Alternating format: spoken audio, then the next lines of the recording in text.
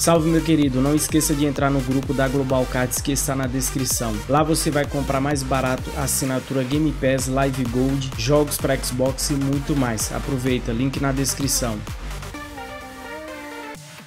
E aí, beleza? Aqui quem fala é o Muka, trazendo para você mais um vídeo aqui no Forza Horizon 5. Hoje a gente vai testar esse carro aqui e a gente vai fazer uma corrida na expansão de Rally depois da atualização. Vamos ver como é que ficou. Eu vou deixar o motor original desse carro porque o som dele é da hora.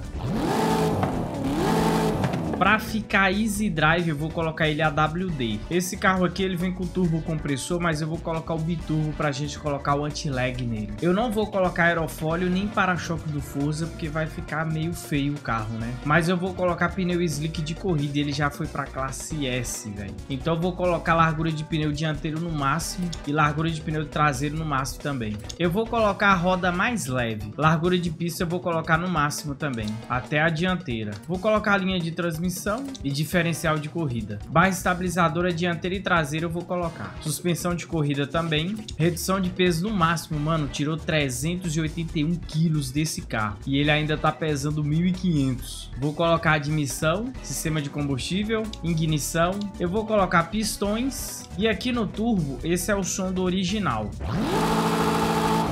E esse aqui é com anti-lag vou colocar o turbante lag. Mano, eu vou colocar esse design aqui. Aparece o nome do criador bem ali, ó. Eu vou testar esse carro numa pista da expansão de rally.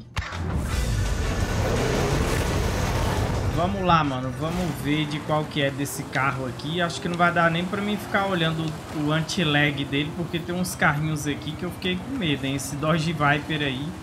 Pelo amor de Deus. A gente tá correndo na categoria dele né? Eu acho que esse carro aqui ele tá na classe de Muscle moderno, por isso que ele tem esse Camaro aí. É um carro bem pesado, acho que não é um carro para modo online, é mais para campanha, para quem gosta de fazer encontros com a galera, né? Para quem gosta de tirar foto também.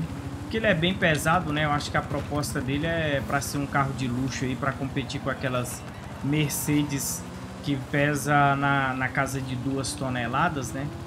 Então é, não dá para esperar muita coisa dele em termos de desempenho. Né? A gente tirou 380, eu acho, é, de peso dele e ele ainda continua é, bem acima, né? Eu acho que esse carro aqui deveria ter chegado para a gente na classe B, tá?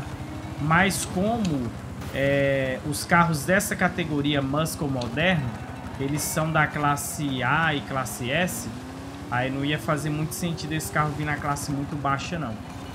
Aí o Forza teve que colocar ele na classe A, pelo menos eu acredito. Ele colocou ele na classe A ali bem próxima do da classe S1, né? Qualquer pecinha que você colocasse ali, ele ia para a classe S1.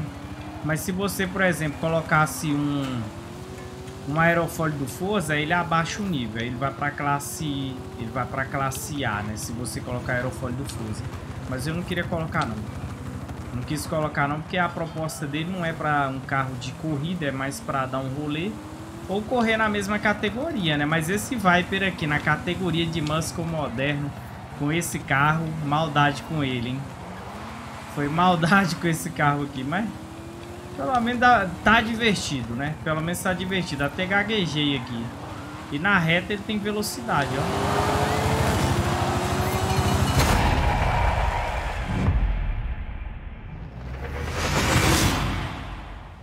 Cara, eu achei uma corrida noturna aqui pra gente testar o anti-lag e depois da atualização vamos ver se o copiloto vai ajudar a gente na corrida. Mano, a dificuldade tá no imbatível, tá? 5, 4, 3, 2, 1, vai! Vamos ver como é que ficou depois da atualização. Suave à direita. Fume! Suave à esquerda. Fume! Suave à direita chegando a uma elevação. Curvinho à direita. Suave à direita, para uma leve à esquerda. Suave à esquerda, aí curvinho à esquerda.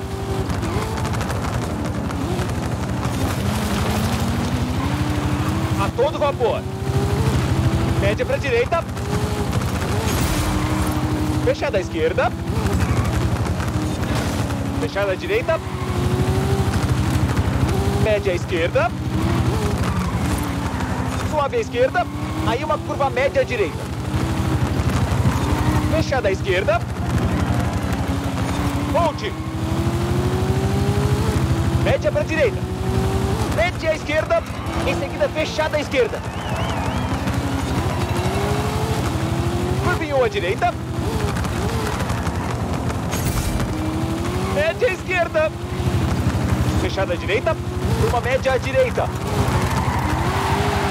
Média para a direita. Curvinhou à esquerda.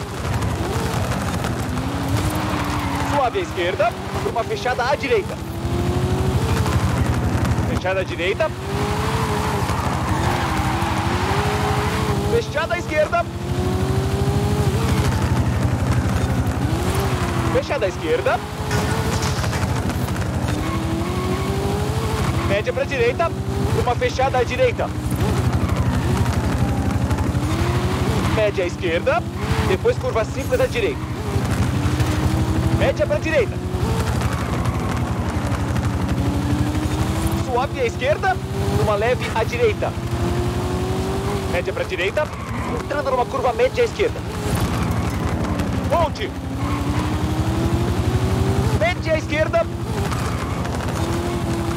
Suave à esquerda. Média para direita. Média à esquerda. Seguida de lombadas. Média para direita. Fechada à direita. Média para direita. Depois curva média à direita. Suave à esquerda. Em seguida, curva em U à esquerda. Gume. Aí curva simples para a esquerda. Suave à direita. Salta. Fechada à esquerda. Gume. Média para a direita. Chegando a uma elevação. Média à esquerda. Lá na linha de chegada. Cara, ficou top agora, viu? Agora sim tá completo, mas eu já zerei a expansão. Mano, então é isso, eu só queria testar esse carro novo aqui que tem uma proposta muito para modo campanha, tá? Não é um carro de pegada de pista e eu queria testar também a expansão depois da atualização, deixe nos comentários o que, que você achou. Se você gostou do vídeo, deixa o like, manda um salve nos comentários, se você não é inscrito já se inscreva, aproveita a lista de dicas na descrição. E se você for adquirir overclock, não esqueça de utilizar meu cupom para você ajudar também, beleza? Até o próximo vídeo.